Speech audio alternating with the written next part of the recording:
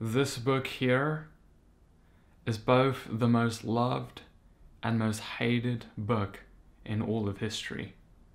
It is the most printed book and even the first ever printed book in all of history.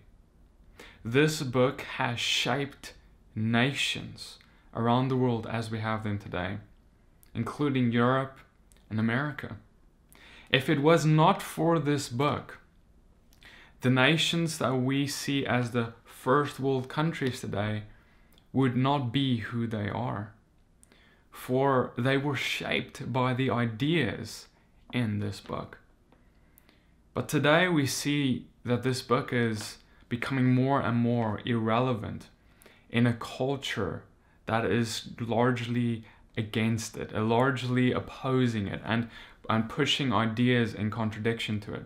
And as these other ideas become more prevalent and more um, important in the minds of men, these become less important because this book is seen as a danger to ideas that contradict it, right? But see, friends, here's the thing America or any country that you may think of as a worthy and good country in the world today would not exist. And all the good that is in these countries would not exist if it was not for this book. When we look at countries around the world who have abandoned the ways laid out in this book, lay, abandoned the Bible and the truths set therein, they have become the most devastating countries that this world is facing. When we look at a lot of the Middle East, when we look at countries like China, those are war torn countries where more people are dying than anywhere else in the world. While all the countries, 100% of the countries who are absolutely truly upholding the values in this book, are countries where there is peace in, are countries where there is freedom in doesn't the evidence speak louder than any ideas we can try and put down on the table? The evidence is abund- in abundance that there is something to this book, and there's a reason it is the most famous book in the world. And even though the Bible has had the most biggest impact on society today uh, versus any other document or grouping of ideas, there is a drought in the Western world. There is a drought in America. And you may say, PD, what do you mean a drought? We have an abundance of water at this moment. And I'll say, not a draught of water, a draught of His Word. The Bible that radically impacted and changed and was the foundation of the building of nations has been forgotten by the generation we are standing in today. The generations today only have a surface level understanding of the Bible because they only know what someone has told them about it. They have not become intimately familiar with it like their ancestors were. Because, see, if you don't have a personal, intimate relationship with the Bible and the God who gave it, then you will never be able to come back and understand why is it that the success of this land is so in abundance? Instead, what we do is we are growing and growing in ignorance of what is written therein. And so, because the human nature is in opposition to God and in opposition to his ideas, that's by the way why the Bible is not written by men, because men would never write the things in the Bible. That is why when we start separating from God, we start separating from His Word and the Bible. We start separating from the ideas therein. And so, what we do is we start bundling together with people around us with the same carnal ideas. And you know what the human nature is and how people think is they think that if there are people around them who agree with them, then they must be right because no one in the world believes something that they know is wrong. You would go and change your beliefs into what you think is right, what seems right to a man. But the question is, is, is that what is truth? Because truth is an absolute thing. It's not something that can change with the times. You see, brothers and sisters, the times and the seasons and the ages we enter can become darker and darker and more evil. But you don't get to darken His Word. You don't get to change it.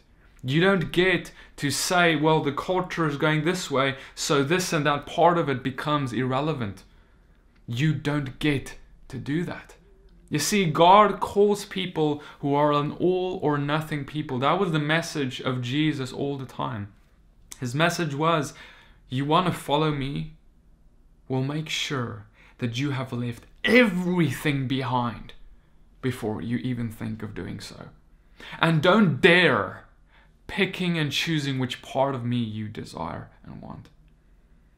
And so, what we have done is we have created 33,000 plus denominations. 33,000 ways to God there is, is what the world says.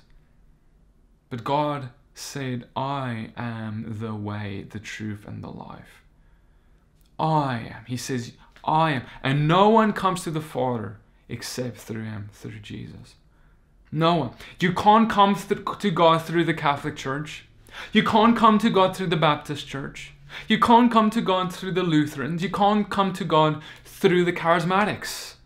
You can't come to God through a man, this or that pastor. You come to God through Jesus Himself. Not picking and choosing a part of Him that you like and throwing out the rest, because that's what a denomination is. The denominations of God are groups of people who have come to say we want to follow God but we want to pick and choose like a recipe, make a recipe, a pick and choose the ingredients we want of Jesus and put that in our meal. But the rest of it we don't want, so we'll throw it out on the side. And you know what we do as believers, as Christians, as, and we have done this, history tells the tale is that what happens first is we see culture start adopting an idea, something that is far out, evil, something that the Bible very clearly pro- prohibits. And we will be like, no, that's wrong, we won't do that. And as the years go on and go by, we start compromising. We start changing our mind. We say, you know what, maybe it's not that bad. You know, maybe the Bible was written to for the people of 2000 years ago and not for the people of today or certain aspects of it is not as relevant for today anymore. And then we start throwing out something like the law of God.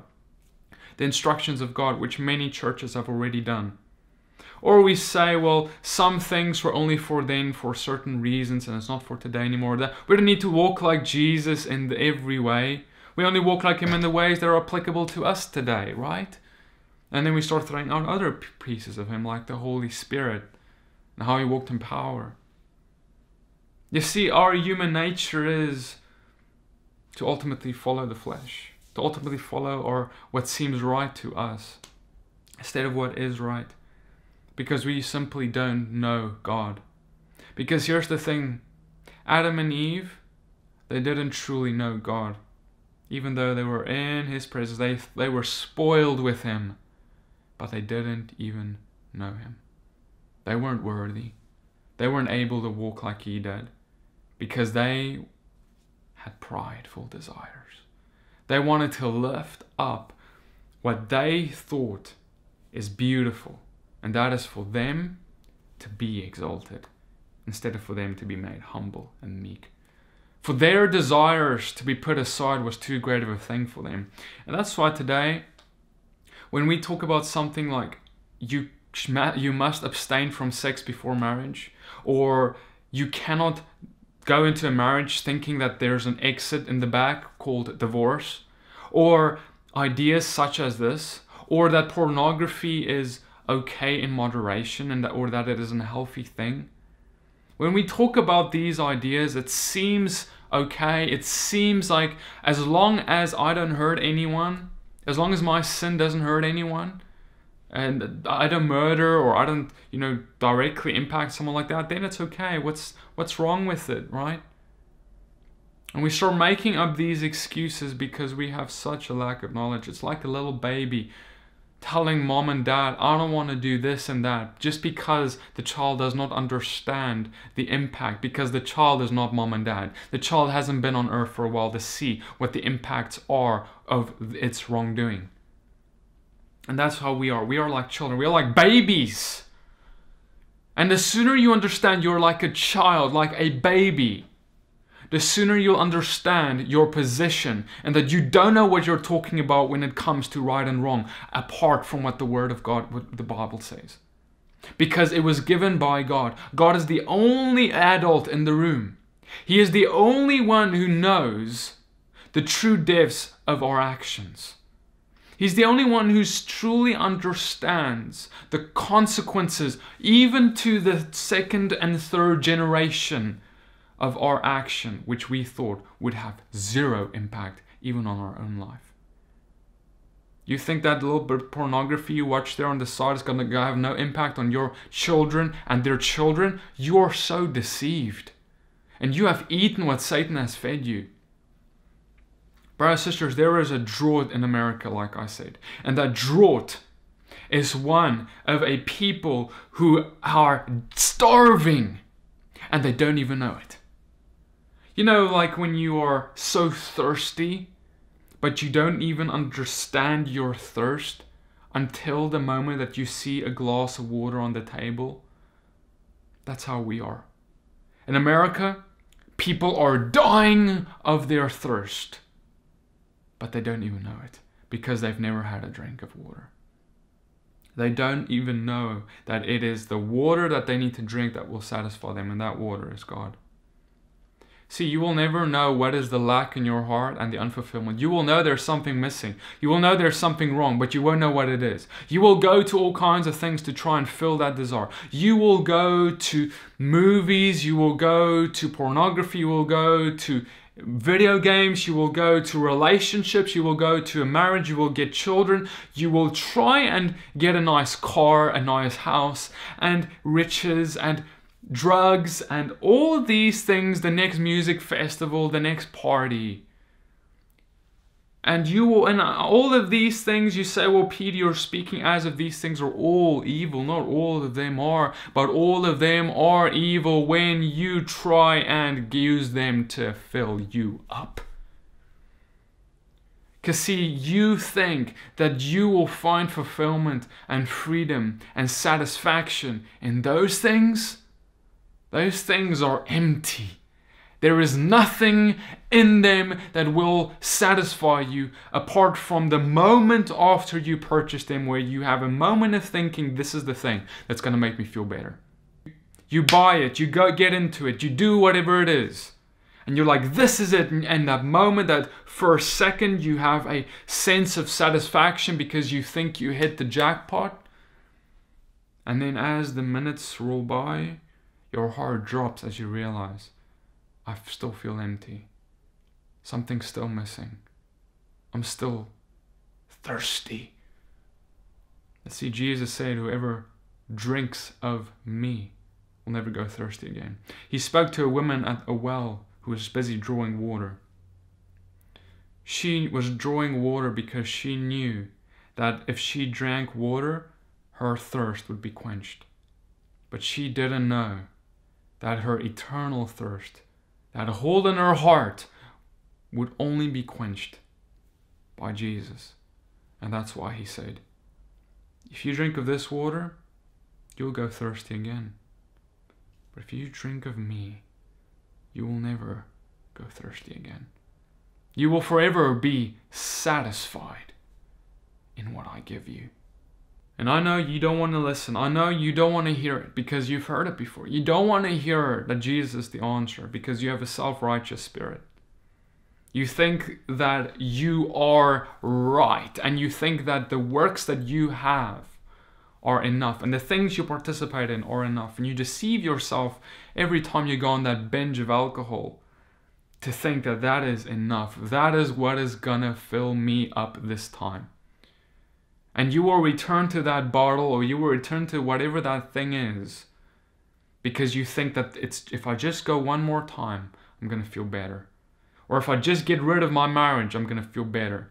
If I just get rid of this or that thing, I'm gonna feel better. You see, you go, went into the marriage thinking this is gonna fix you. Now you're going out of the marriage thinking that's what's gonna fix you. You're deceived because only God is what the thing is that's gonna fix you. Not, it's not your wife's fault. It's not your husband's fault. It's not your children's fault. I don't care who hurt you, how bad they hurt you. That is not the thing that has caused how you feel to be how you feel. It is the fact that you have no relationship with God, even though you sit in the front row seat in church. You think that's the thing that will fulfill you. You think that it is having a Bible and reading it that is going to fill you. You say, well, PD, what is the solution then? You, you say it's the Bible, you say it's God.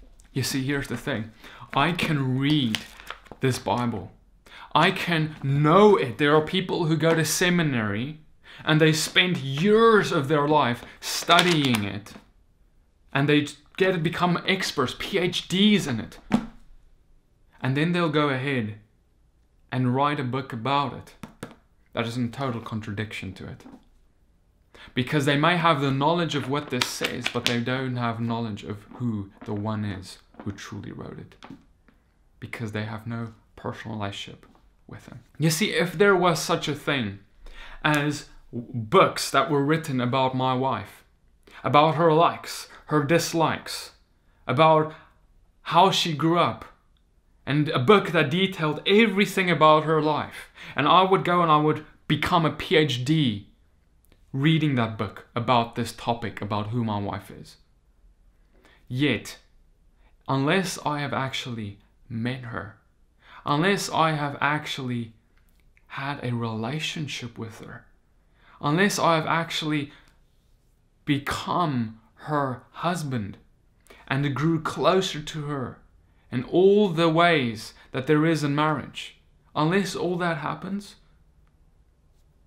I don't really know her. I don't know her as well as I can to be able to say that I am married to her. I can know all the books, I can know all the knowledge about her, but I need to know her. You can have everything that you want about God, but you need to know God. And that is not just, there are people who read the Bible, who read the Torah, but deny Jesus. There are people who read the Bible every day but live like hell because they don't know Him. Because you can have knowledge about Him but not know Him. You can have knowledge about me but not know me. You can have knowledge about the president but not know the president. But the question is when you pitch up to the president's White House, are they going to say put a gun to you and say what are you doing here? You're not allowed in here. Or they're they going to say welcome the president knows you. Come on in. When you get to the gates of heaven one day, and you will stand before that, you will come to God, and you when you appear before him, is he going to call his guards, his angels to take you away? Because he doesn't know you? Or is he going to say, I know you? And he's going to call you by name up. And he's going to give you the reward of a seat at his table. You see, the people at his table aren't going to be people who just know the Bible. They're not going to be people who even sit in the front row seat at church every and never misses a Sunday. They're going to be people like the disciples who dwell with Jesus because that's what he said. He said, You will dwell with me, you will dine with me in the kingdoms. So, what was it about the disciples? You see, if we were still only going to go on what the world would think would be the man who would sit at that table with Jesus, it would be the Pharisees of the first century. They were the most learned of the learned. They had all the books memorized. They had it all, all the knowledge about the Bible, if you will, the Torah back then. They had all of it down. But when Jesus walked among them, they couldn't recognize him. When love walked among them, they could not recognize it. How is that? They didn't know God, only about Him. They fooled themselves into thinking that they know God, even. They thought, they were convinced that they do, but they didn't. They had no idea who he was. See, and sisters, here's the thing, here's the secret. You do not truly know God until you have love.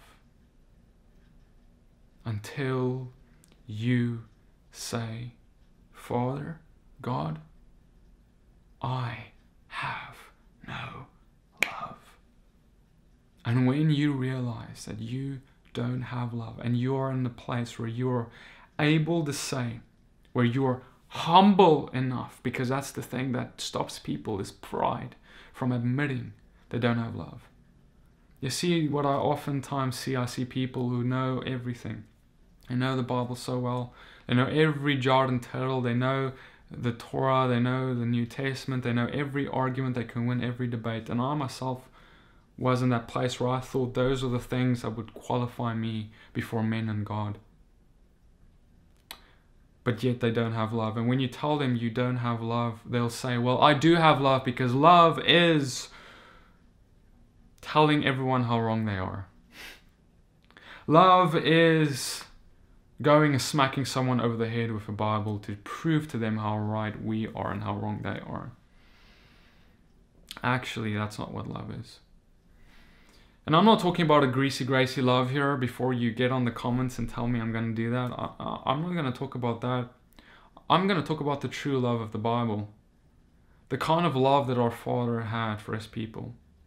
You see, God said, If you love me, you will do what I told you to do. It's very important. What was the last thing he told us to do before he left? To love your neighbor because, see, when you love your neighbor, that is how you love God.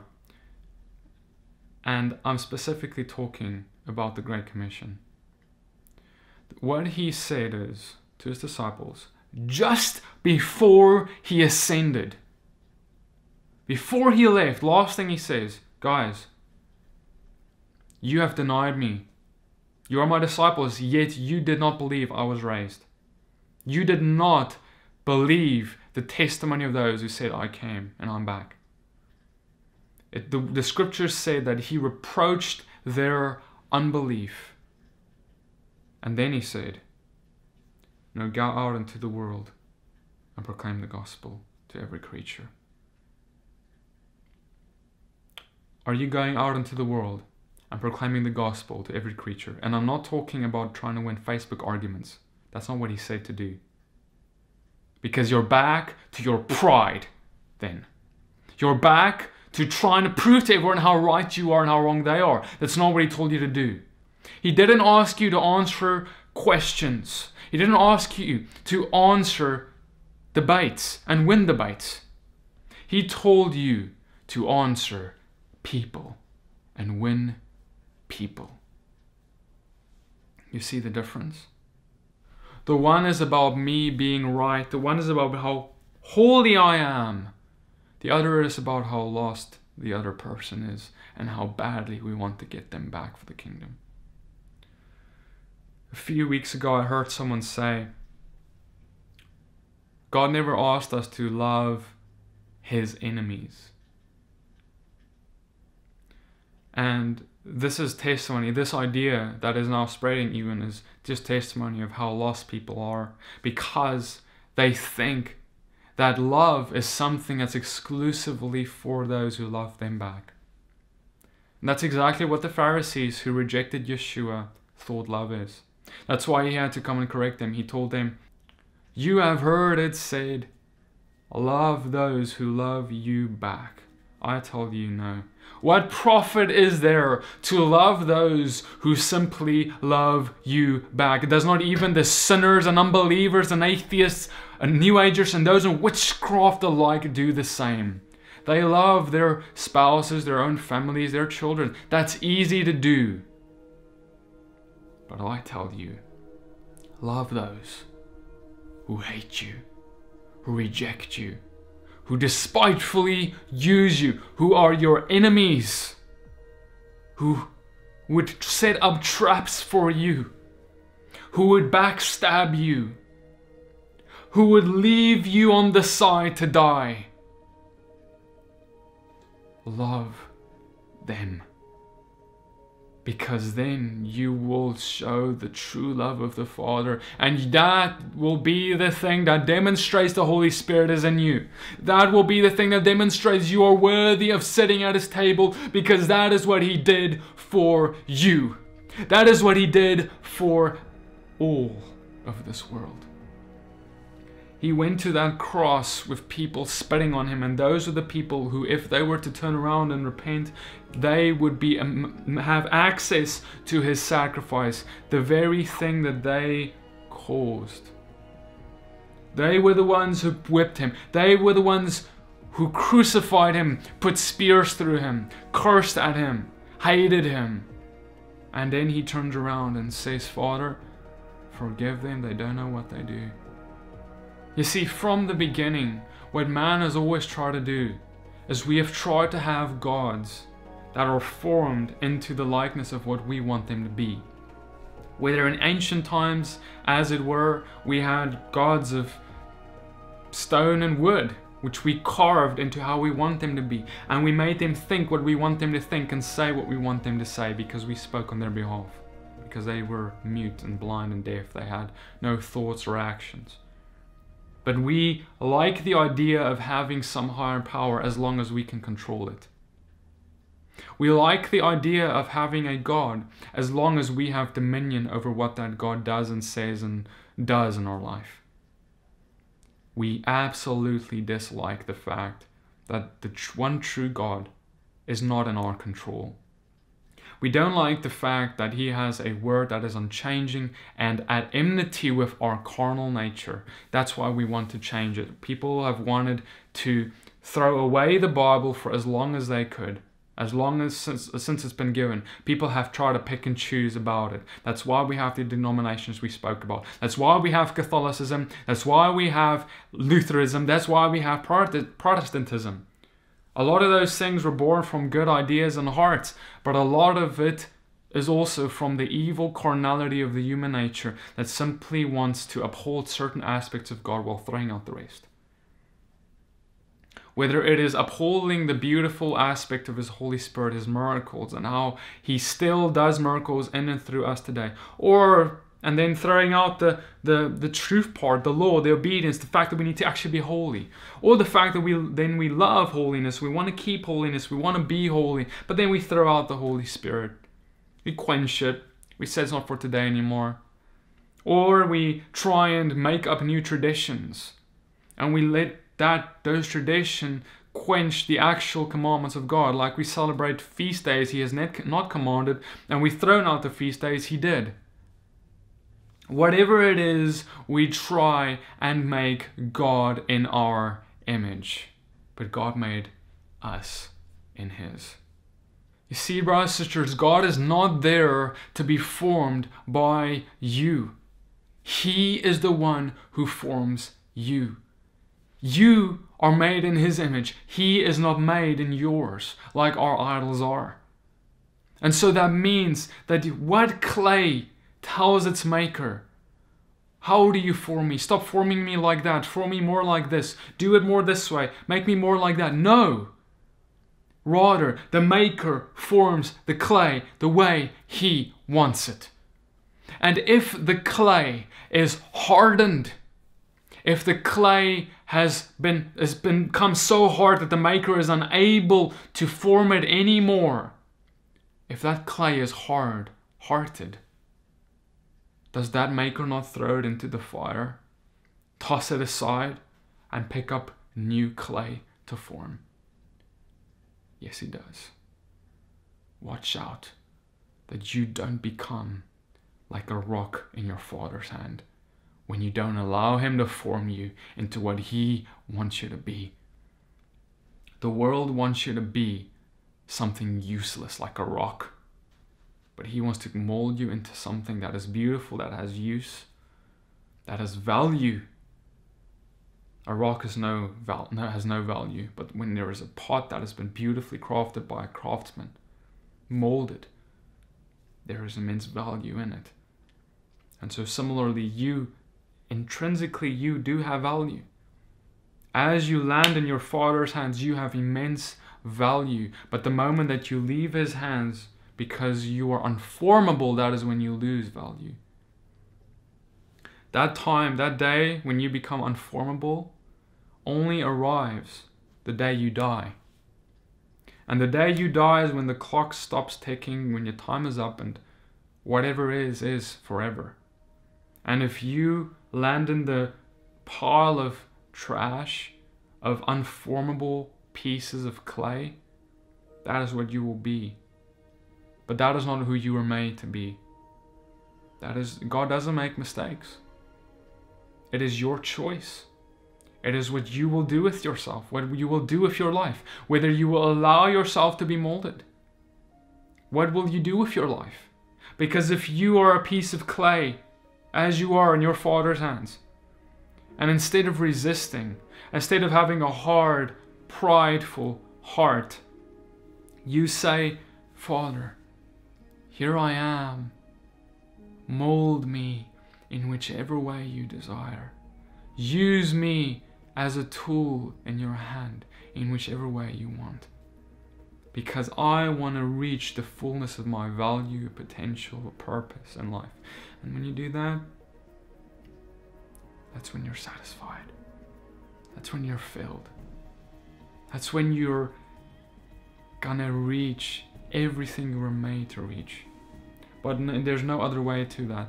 You can't use any other means except telling God, do what you want. And so, brothers and sisters, the reason that this message is what I am making for you today is that there is a spirit of self righteousness, a Pharisaic spirit over America that is causing this drought. A spirit that is telling people, a demonic spirit that is telling people that you are okay, you are filled, and you can continue in all these other things and you will be fine. And the Spirit tells people that you don't need the instructions of God because they're outdated. You don't need to follow the Bible because it's outdated. You need to spend time each and every day with your Father. Just reading the Bible is not going to do it. That's important. That is amazing. That has incredible value because it helps with the renewing of our minds more into His image. It's important. But don't be deceived to think that as long as I just read my little bit of Bible, I'm fine. Because that's not what a relationship is. I can live with a wife, but if I just read this book about her, but I never speak to her, I never spend time with her, I never do things for her to show my love for her, I can tell her I love her as much as I want, but my words are empty and powerless. Right?